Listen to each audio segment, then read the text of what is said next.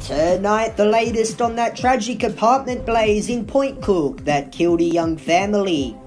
Victoria's big build continues with major delays across our road and rail networks. And who's up for ice cream? Local favourite Sprinkles planning a second store set to open next year.